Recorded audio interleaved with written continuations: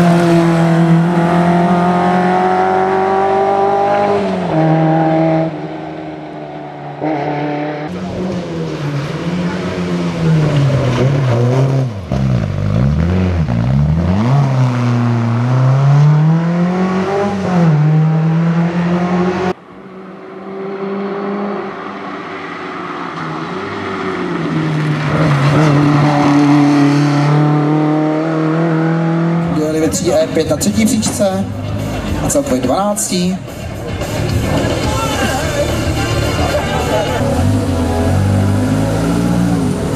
A teď tady máme vyloženě legendu za volantem tohohle auta Vladimír Ber-